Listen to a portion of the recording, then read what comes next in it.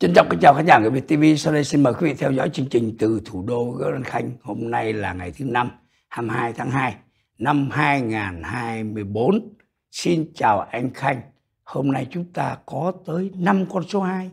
Tính ra nó là bù với Khanh ơi. Xin chào anh.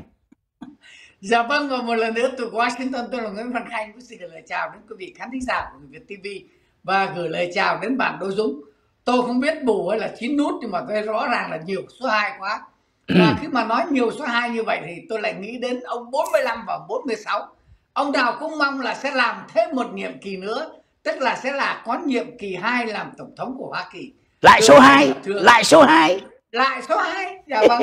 Và rõ ràng là như vậy là lại là số 2 hiện tại bây giờ chưa rõ là như thế nào. Kết quả của những cuộc thăm dò gần đây thì cho thấy là ông um, trông có vẻ trội hơn một tí xíu, nhưng mà thú thật với anh và thưa cùng với lại quý vị khán thính giả, tính đi tính lại thì cũng vẫn là 50 50 thì câu hỏi mà bạn tôi cứ bảo tôi rằng là tại sao lúc nào cũng là 50 50 bởi vì cái lý do là cho đến bây giờ thì ờ, rõ ràng ai cũng nhìn thấy là 50 50 ông này có thể nhích lên một tí xíu, ông kia nhích xuống một tí xíu.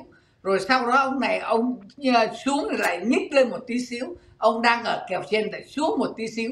Thành ra rốt cuộc sau thì tôi nghĩ rằng là từ bây giờ cho đến tháng 11 đến ngày mùng 5 tháng 11 còn rất là nhiều thay đổi.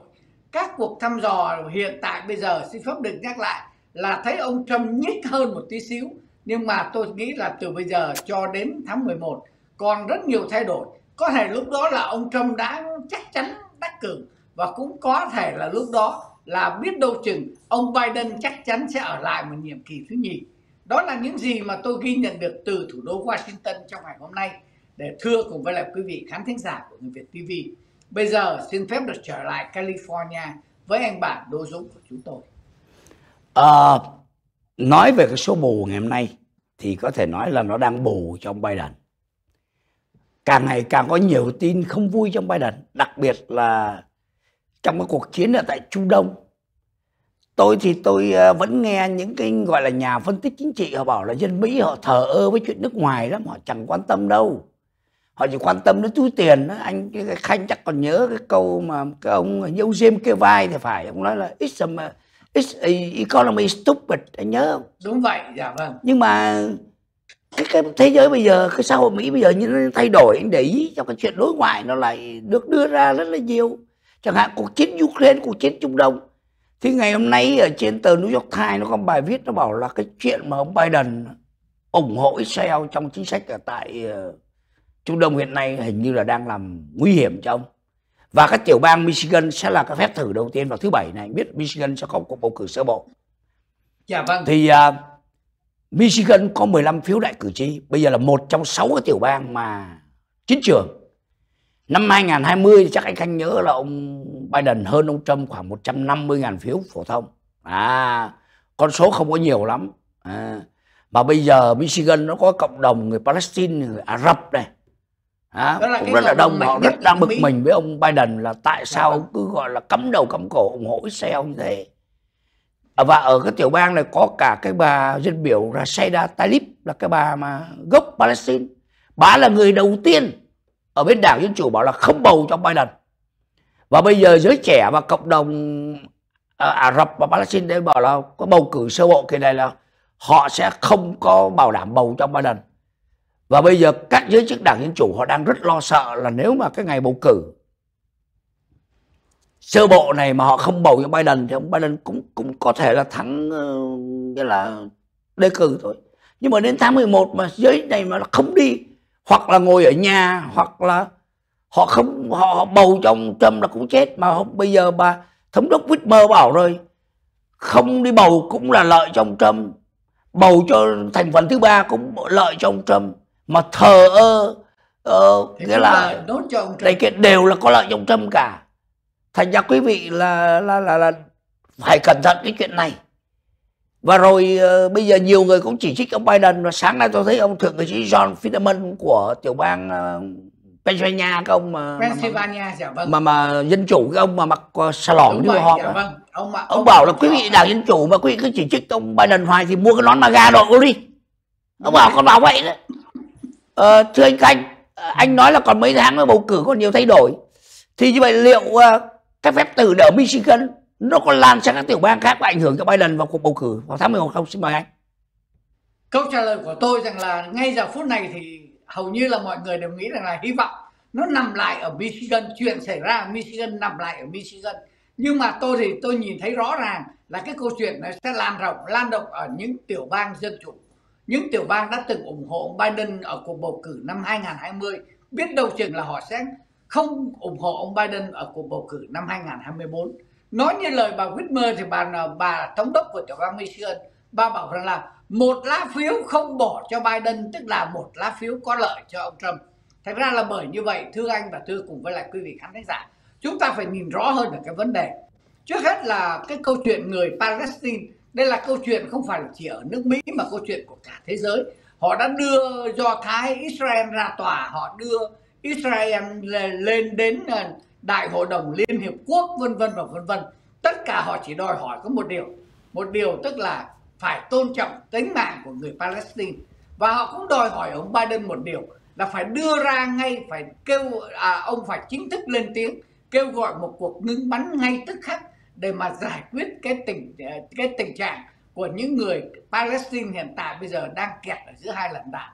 Thật ra là bởi như vậy và thưa với anh và thưa cùng với lại quý vị khán thính giả tôi hồi sáng là tôi nói ờ, nói chuyện với lại ờ, những người bạn của tôi.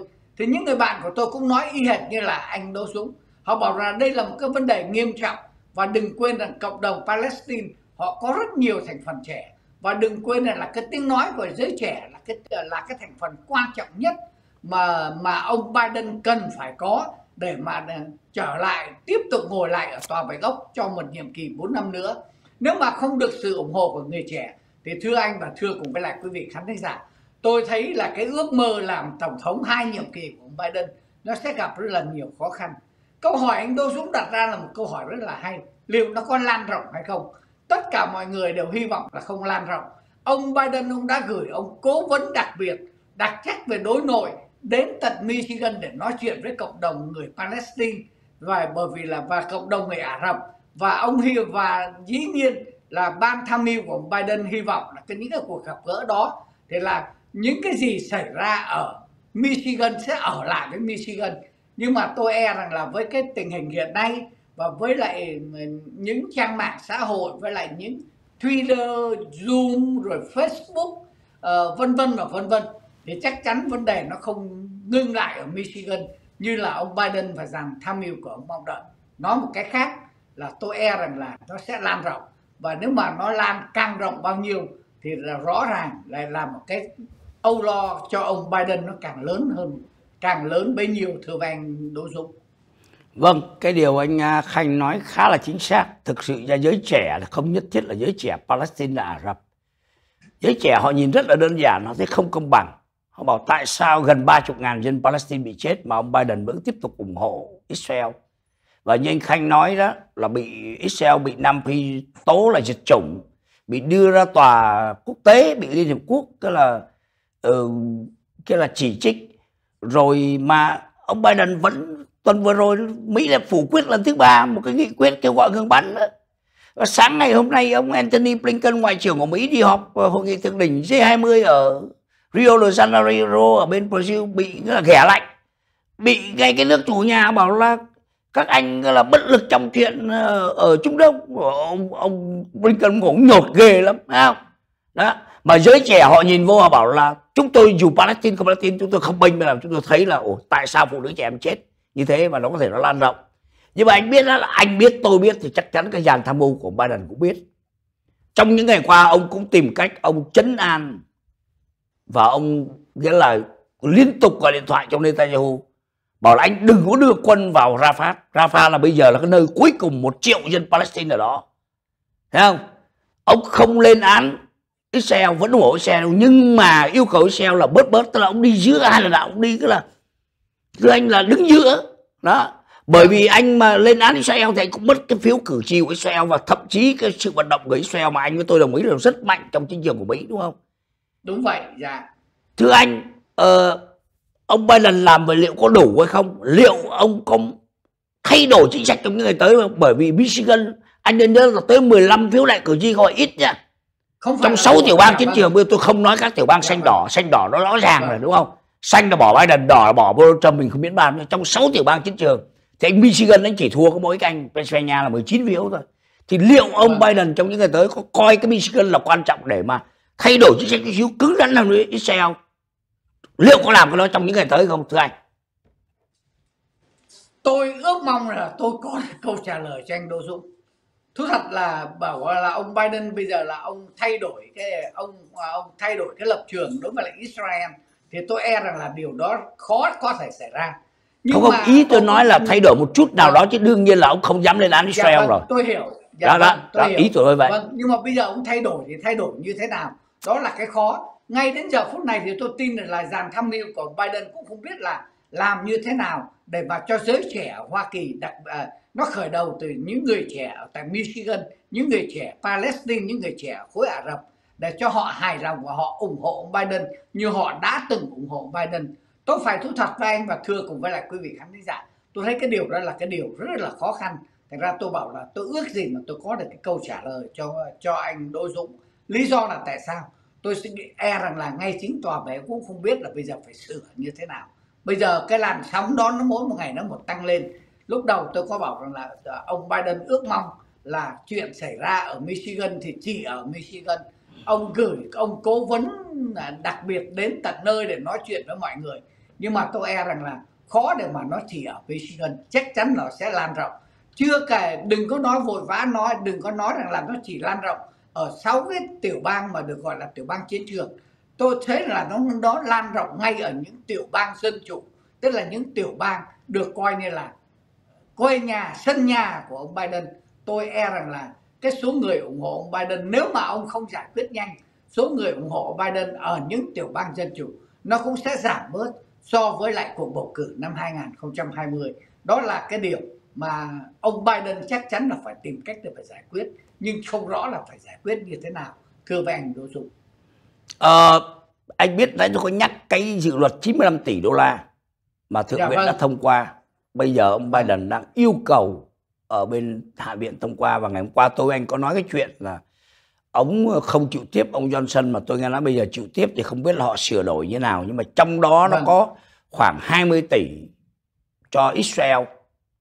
Thì một số uh, đương nhiên là những cái cử tri trẻ như chúng ta nói như là họ không đồng ý mà ngay cả một số dân biểu cấp tiến nó bảo là không thể đưa tiền cho Israel cái khơi như thế phải có cái điều kiện nào chứ không thôi là chúng tôi dạ. không có ủng hộ cái này. Ờ, mà bây giờ liệu ông Biden có điều chỉnh cái giống đó để cho người ta thấy rằng à tôi ủng hộ Israel nhưng mà tôi vẫn có những điều kiện. Ví dụ như trong 20 tỷ này các anh không được lấn qua chỗ nào là các anh phải để cho viện trợ vô này kia vân vân vân thì nếu làm cái đó thì cũng được cái sự ủng hộ của cử tri của của các vị dân cử dân chủ mà cũng phần nào làm cho cử tri trẻ dân chủ bảo ô rồi ông ủng hộ Israel nhưng mà ông cũng đặt kêu điều, điều, điều kiện để Israel không giết hại người dân Palestine nữa. Thì liệu ông có thay đổi cái này trong những ngày tới nếu gặp Mike Johnson để một phần nào gỡ lại cái chỗ tình trạng ở Michigan mà để nó không lan qua chỗ khác không? Thưa anh? Tôi nghĩ là nếu ông gặp Mike Johnson thì có lẽ là một trong các vấn đề. Cảm ơn Đỗ chúng ta là ra câu hỏi này tôi nghĩ rằng là có thể là cái chuyện mà cái số tiền viện trợ mà cho viện trợ nhân đạo cho giải Gaza sẽ chiếm một cái vị trí rất là quan trọng cho cái khoản tiền trong cái khối viện trợ mà ông Biden đang xin tức là khoảng 100 tỷ. Thì trước đây thì chẳng hạn như là chỉ có một vài trăm triệu được nhắm đến số người uh, viện trợ cho những người Palestine đang kẹt lại ở giải Gaza thì có thể lên đến bằng tỷ. Và nếu mà đã có một tỷ rồi thì có thể lên tới 5 tỷ 7 tỷ và lên tới 10 tỷ đó là đó là cái khoản điều mà ông Biden tôi nghĩ là có thể làm được. Làm như vậy thì là ông Biden à, sẽ có một cái cơ hội để mà nói với lại mọi người rằng là tôi không quên về Palestine trong khi tôi vẫn tiếp tục ủng hộ uh, Israel. Tức là ông sẽ làm hài lòng được cả hai bên. Nhưng mà cái câu hỏi được đặt ra là đủ hay không thì lại là một cái câu chuyện khác. Thưa với anh và thưa cùng với lại quý vị khán thính giả tôi thấy là khi mà ông gặp ông Johnson thì ông có thể làm được cái điều đó tức là ngay chính những người ở phía bên đảng cộng hòa họ cũng không hài lòng lắm với lại cái chính sách uh, cái thái độ của ông biden. Tức là có vẻ là nghiêng về phía israel và chỉ có một mình israel mà quên đi rằng là nó có một cái tập thể khác mang tên là palestine. Hiện tại đó là cái tập thể mà cả thế giới đang chú ý đến. Tôi xin nhấn mạnh ở chỗ là cả thế giới đang chú ý đến chứ không phải là riêng ở Hoa Kỳ. Và ở các quốc gia khác họ cũng đã biểu tình rồi họ lên tiếng phản đối, vân vân và vân vân. Ở Hoa Kỳ tôi thấy là họ chỉ mới lên tiếng phản đối và họ có có những cuộc biểu tình nho nhỏ, nhưng mà nó chưa đủ mạnh so với lại những cái à, những cái việc làm mà ở những quốc gia khác hiện đang xảy ra. Thật ra ông Biden ông còn thì giờ để mà ông chữa và tôi nghĩ rằng là ông phải chữa, nhưng mà chữa như thế nào một lần nữa khó để mà biết được thưa anh Đỗ Dũng câu hỏi chót cho anh trong chuyện này thực ra là nếu mà ông gặp ông Mike Johnson á, trong cái chuyện chợ đó, đó vâng. là cũng kẹt bởi vì nếu mà vừa ủng hộ Israel về mặt chính trị ngoại giao lại vừa cho thêm tiền Israel là tội nặng lắm mà nếu bây giờ có Đúng cho vậy. tiền vâng. Palestine chăng nữa thì nghĩa là có uh, dân Palestine có cơm gạo ăn vừa ăn xong pháo kích cái xuống cái banh càng cũng đều không chết đói dạ vâng. cái, không làm giảm bớt tình hình thế nào cả nó khó nhưng mà bây giờ anh biết đó, là ông Biden vẫn đang theo đuổi một cái ờ, một cái cuộc thương thuyết bí mật vừa bí mật vừa công khai trong những ngày qua. Mà ông bảo vâng. rằng là cái lý do chúng tôi vừa rồi phủ quyết cái nghị quyết hội đồng bảo an là bởi vì cái nghị quyết này xen vào cái kế hoạch hòa bình chúng Nó tôi đang dàn xếp. đến cái đến cái giải pháp ngừng bắn. Dạ. vâng. cái đó đang đang ongoing. Trong khi đó thì giới trẻ và đặc biệt ở Michigan cuối tuần này có bầu cử là họ là chống ông Biden. Có thể ông Biden là mất cái tiểu bang này thì phải chăng Biden đang vẫn lần nữa để chờ cái kết quả cái cái cái cái, cái đạt được một thỏa thuận nào đó với bên Israel và cả các nước Trung Đông? Thì có cái đó thì nó đỡ được hơn là bây giờ mà uh, thương thuyết với ông Mike Johnson bởi cái cả có đồng ý với ông Mike Johnson về ông Mike Johnson cũng bị béo cái cự tức là ý tôi muốn nói là, là cái chuyện cái chuyện 95 tỷ đó là ông phải lệ thuộc cả ông Johnson và thậm chí cả ông Trump trong đó luôn. Còn cái này là tôi tôi kiểm soát được cái này các cố vấn của tôi đi làm việc với lại ông Netanyahu với cái các cái ông Ả Rập với nhau thì nó nó hiệu quả hơn. Thì nếu đạt được cái đó thì có thể là làm hài lòng một phần nào cái số cử tri mà hiện nay ở tại Michigan đang chống ông để mà cái đó nó không lan ra không? Liệu có phải là ông đang chờ cái đó không? Câu hỏi chót anh tôi tôi nghĩ là cắm à, tôi nghĩ là điều đó là cái điều đội dũng nói ra là là cái điểm mà người ta Washington người ta cũng nghĩ đến. Tức là ông Biden ông hy vọng là, là vào giờ phút chót là sẽ có sẽ đi tìm được một cái giải pháp ngừng bắn. Chưa dám vội vã nói là giải pháp hòa bình mà giải pháp ngừng bắn. Và ông nghĩ rằng là với cái giải pháp ngừng bắn này ông sẽ làm không dám nói là làm hài lòng những người đang bực dọc với ông. Nhưng mà ít nhất thì cũng là nguội đi cái uh, cái tình hình. Cái tình hình hiện tại bây giờ thì nó quá nóng so với lại uh, lại cái thời gian trước đây. Tình hình bây giờ là năm 2024 với lại 2020 là với lá phiếu dành cho ông Biden nó hoàn toàn nó khác rồi. Thật ra ông Biden ông hy vọng rằng là nó sẽ làm giảm nhiệt đi và lúc đó ông sẽ đi tìm những cái giải pháp kế tiếp và để hy vọng làm sao để mà có thể giải quyết được vấn đề. Tôi cũng mong là như vậy và tôi cũng nghĩ là có lẽ là ông Biden, ông đang chờ đợi, ông chờ đợi cái giải pháp ngưng bắn mà đang đàm phán với nhau thành hình và ông hy vọng là cái giải pháp ngưng bắn này sẽ làm. Tôi tôi tin là ông hiểu là không có thể giải quyết hoàn toàn được tức là người ta không không ủng hộ ông hoàn toàn 100% như là năm 2020 nhưng mà ít nhiều nó hạ nhiệt đi rồi sau đó sẽ tìm cách giải tiếp à, giải quyết tiếp theo. Thú thật với anh và thưa cùng với lại quý vị khán thính giả không ai có thể ngờ là cái câu chuyện mà Hamas Palestine uh, và uh, Israel nó lại nó lại ảnh hưởng đến cái cuộc bầu cử 2000 cuộc bầu cử tổng thống ở Hoa Kỳ mạnh như bây giờ trước đây thì người ta chỉ nghĩ đến cái vai trò của do thái, bây giờ thì người ta thấy à bên cạnh cái vai trò của do thái, bên cạnh cái câu chuyện của do thái, nó còn có cái vai trò của cộng đồng người palestine. Và cái cộng đồng này, những người trẻ cộng đồng này, họ có rất nhiều ảnh hưởng là vì họ có bạn bè của họ khắp mọi nơi và bạn bè của họ cũng đồng ý với họ. Và đặc biệt nhất là cái câu chuyện họ nêu lên đây là một cái một cái chuyện nhức nhối của cả thế giới chứ không phải là chỉ nước Mỹ đó là cái nhìn của tôi thưa với lại anh à, Đỗ Dũng. Cảm ơn anh Khanh rất nhiều cảm ơn khán giả theo dõi chương trình hôm nay. Chúng tôi xin hẹn quý vị vào chương trình ngày mai. Dạ vâng xin cảm ơn Đỗ Dũng và cảm ơn quý vị khán thính giả. Một lần nữa từ Washington tôi là Nguyễn Văn Khanh tương trình đặc biệt cho người Việt TV